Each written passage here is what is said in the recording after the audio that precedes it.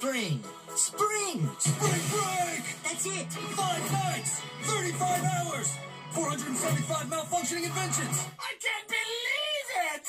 Okay, maybe not that many, but at least one in every episode. Break into spring Oopsie daisy. with Phineas and Ferb. I'm in.